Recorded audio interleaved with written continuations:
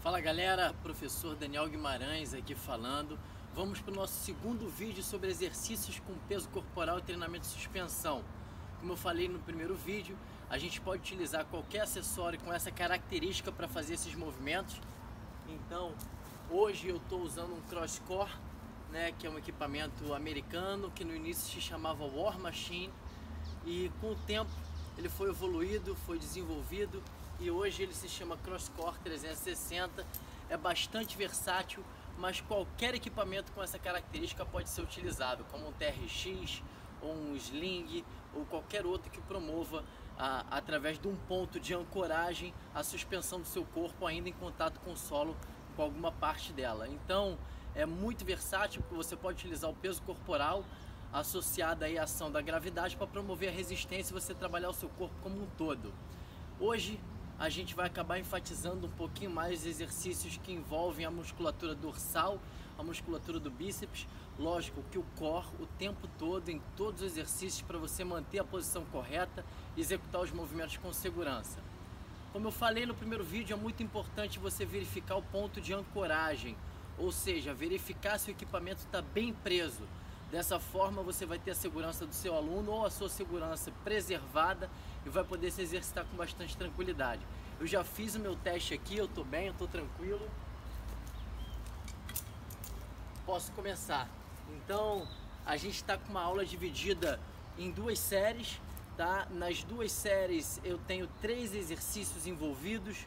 Os dois primeiros envolvem exercícios utilizando o acessório e o último é sempre usando peso corporal somente. 40 segundos de estímulo por 20 segundos de repetição e quando eu fizer a transição de um bloco para o outro eu vou dar um minuto de intervalo. Vamos nessa? Bom, é, eu vou explicar, vou fazendo os exercícios explicando para vocês algumas alternativas aqui também de posicionamento, algumas alternativas para você aumentar ou diminuir a intensidade mas de uma forma geral todo mundo consegue fazer, é bem tranquilo e eu espero que vocês gostem.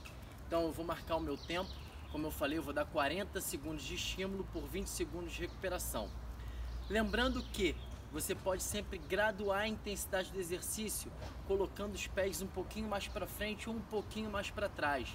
Então é normal nas primeiras repetições você tentar encontrar o posicionamento correto do seu corpo não tem problema nenhum você demorar um pouquinho para encontrar e de repente na segunda passagem ajustar. Isso é absolutamente normal porque ao contrário dos exercícios na musculação, a gente não consegue aqui aumentar uma placa ou diminuir uma placa e nem memorizar a posição que estava inicialmente os pés no exercício. Então, você pode ir ajustando, pode ir sentindo aí o esforço, tendo essa percepção aumentando a velocidade, diminuindo a velocidade para no final todo mundo sair feliz com a sensação de dever cumprido. Vamos nessa? Eu vou marcar o tempo. O primeiro exercício vão ser 40 segundos. Eu vou começar com uma remada, tá? Uma remada aberta e depois eu vou passar para um exercício de rosca, bíceps e depois vou fazer um movimento só para elevar um pouquinho a minha frequência cardíaca. Eu vou fazer duas passagens nesse bloco, sempre dando 20, 40 segundos de estímulo e 40 de recuperação tá bom? Desculpa, 40 de estímulo e 20 de recuperação. Vamos nessa. Primeiro exercício é a remada. Como eu falei, os pés podem ficar mais para frente ou mais para trás para você fazer o movimento.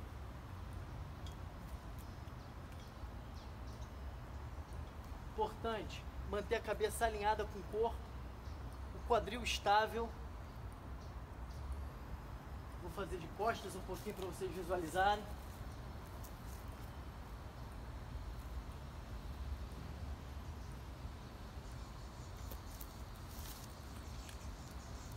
Foi.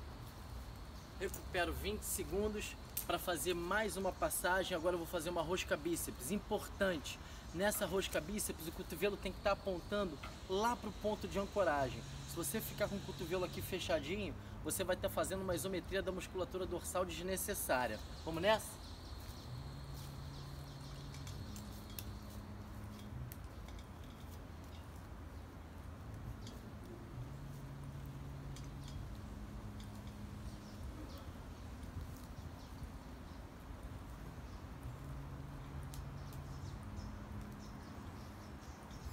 Manter o cotovelo mais parado possível.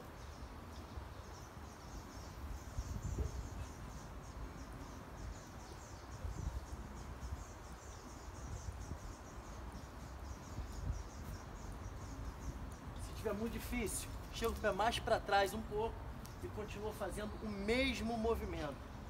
Beleza? Recupera. Em relação à posição dos pés, tanto faz se ele ficar completamente apoiado no solo ou com a ponta do pé elevada. Às vezes a pessoa não tem mobilidade de tornozelo e precisa dessa posição, tá?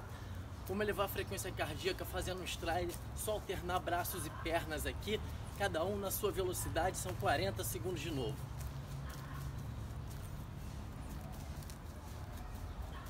Cada um conta a sua. Ainda faltam 20 segundos. Mole, hein?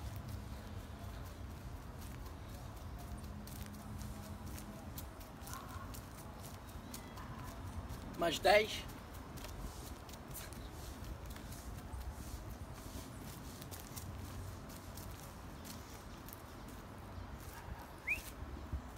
Recupera mais 20. Esse acessório ele é muito versátil porque além de poder pendurar numa árvore, num gancho, você pode também prender numa porta de casa. Então é muito bacana. Vamos lá para a segunda passagem. Remada, mesma coisa, hein?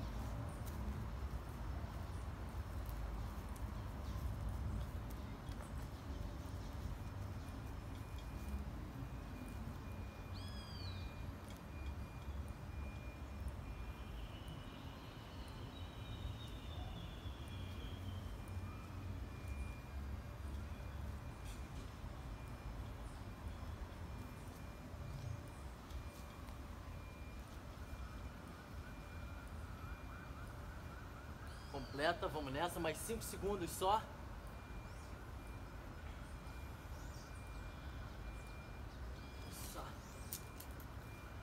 Descansa. Show de bola. Já estou começando a ficar um pouquinho cansado, mas é absolutamente normal. Tá? A gente vai fazer de novo a rosca bíceps. Se tiver muito difícil, chega o pé um pouquinho mais para trás, tá? Para justamente diminuir a atuação da gravidade. Vamos lá.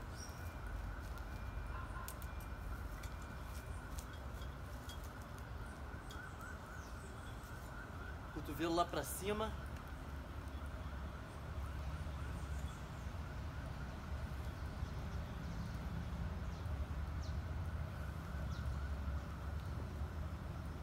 Contrai o abdômen.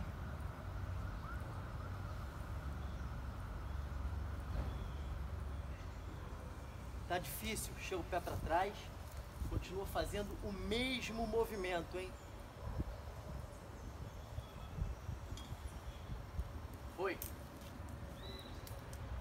Recupera mais 20 para fazer de novo o stride.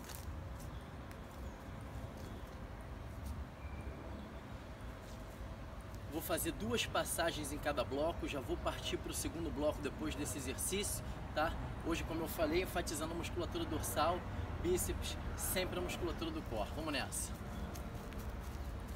40 segundos também, essa é a hora que a sua frequência cardíaca sobe você fica um pouco mais ofegante e esse é o objetivo. É bom que eu estou melhorando meu condicionamento físico aqui também, junto. De lado o movimento.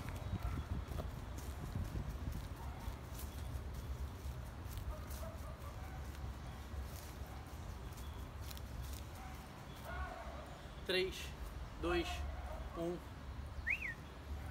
Esse foi o primeiro bloco. Vamos dar um minutinho de intervalo para começar o segundo. Respira um pouquinho. Vale verificar mais uma vez se o equipamento está bem ancorado, se ele está seguro para você começar. Isso é constante, tá? E eu vou continuar enfatizando a musculatura dorsal, a musculatura do bíceps e a musculatura do core. O primeiro exercício a gente chama de crucifixo invertido é um movimento que isola um pouquinho mais a musculatura dorsal, a musculatura que estabiliza a escápula e o bíceps vai ficar um pouquinho menos utilizado. Na verdade, não tem flexão do cotovelo. Por isso, vai ser mais fácil depois eu fazer um exercício um pouquinho mais intenso para o bíceps. E aí eu já vou fazer um trabalho unilateral ao invés do trabalho simultâneo. Então vou fazer um crucifixo, vou fazer uma rosca bíceps unilateral e nessa rosca bíceps unilateral eu já vou precisar estimular minha musculatura do core para estabilizar o meu quadril.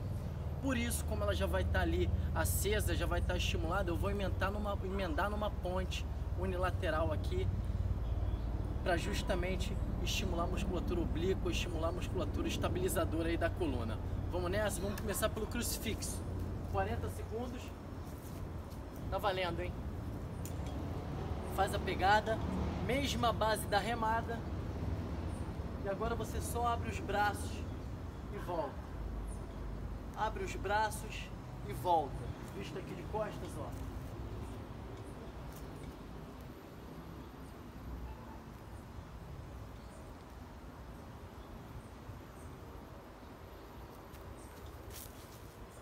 Esse exercício é um pouquinho mais difícil. Talvez você precise colocar o pé um pouquinho mais para trás. E a gravidade atua menos. Recupera. 20 segundos. Esse exercício rosca bíceps eu vou fazer unilateral. Então eu gosto de fazer dessa forma. Eu tiro uma pegada e prendo as duas no mesmo gancho. Cada equipamento tem uma forma de trazer essa estratégia, tá? Vou fazer uma base aqui, ó. Vou estabilizar o meu tronco.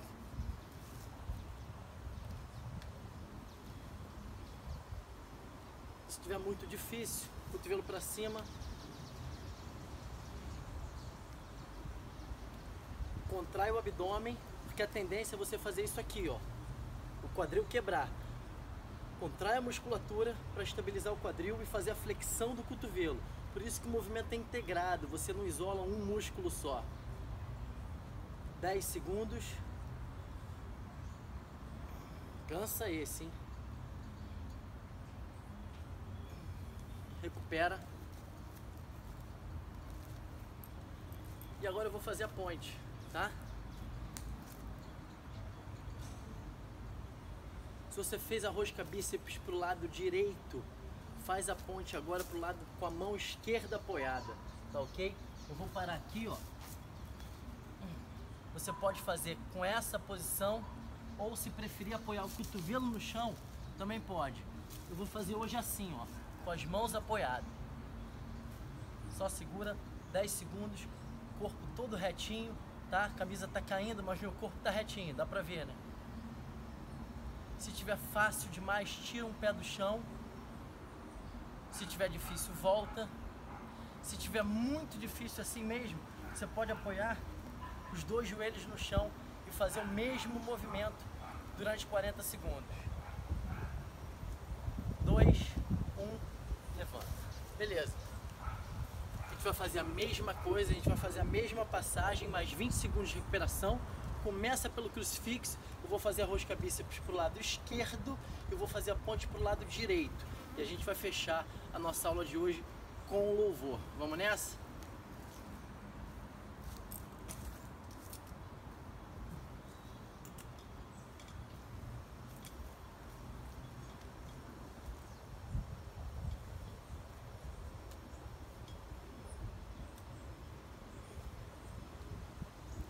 Visto de costas.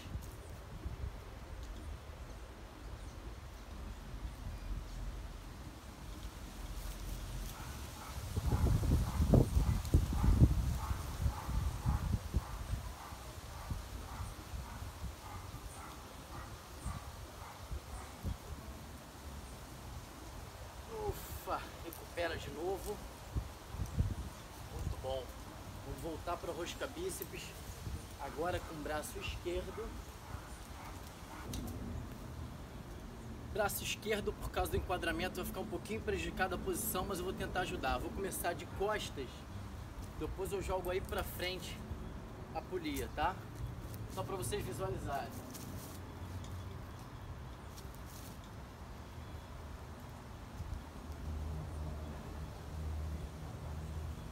Beleza? Visto daqui. Vocês já viram como é a posição dos pés, como é que o quadril fica estável, faz a flexão do cotovelo. Cotovelo sempre apoiando lá pra cima, hein? Lá pra cima. Isso, isso aí.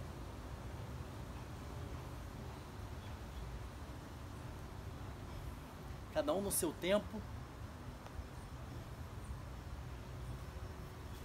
Recupera.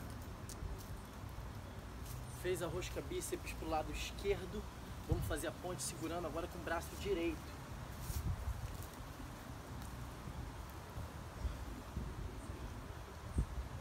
Vou estabilizar aqui. Como eu falei, o corpo tem que estar retinho, a mão na direção do ombro, tá? E tudo estável. Manter a cabeça alinhada. Se tiver difícil demais, você pode apoiar o joelho no chão, fazer o mesmo movimento com o joelho apoiado, tá bom? Outra opção, apoiar o antebraço. 10 segundos, tá fácil, tira o pé.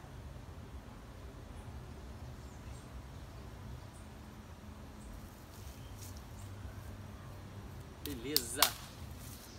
É isso.